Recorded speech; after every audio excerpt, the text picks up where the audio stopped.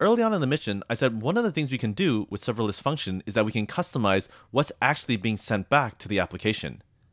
In this case, we can see here from the Pokedex API that a lot is being sent back, but what if we only wanted the Pokemon entries from this?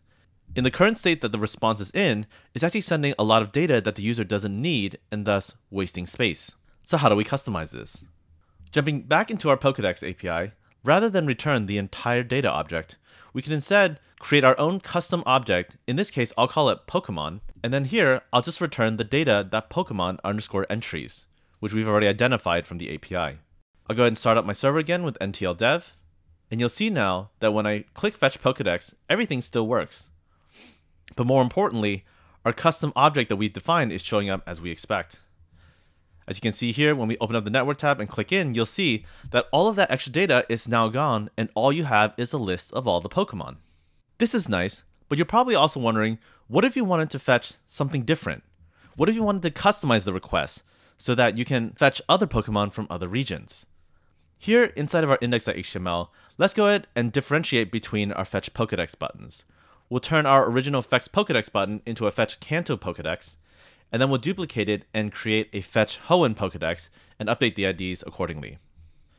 Next, inside of our script block, we'll go ahead and clone the element selector and have a fetch Kanto button as well as a fetch Hoenn button.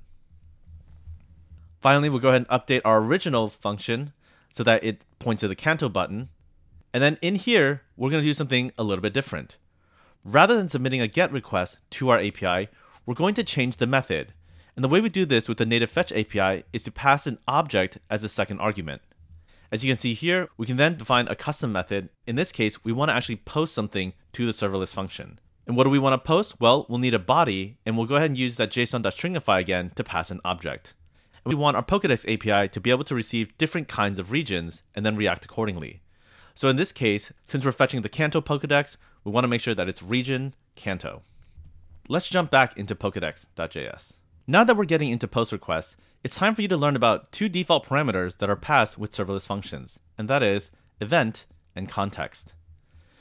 These are variables that are attached to our serverless functions that we get information on that we can then use inside of our serverless function. To show you what I mean, let's go ahead and console log the event parameter.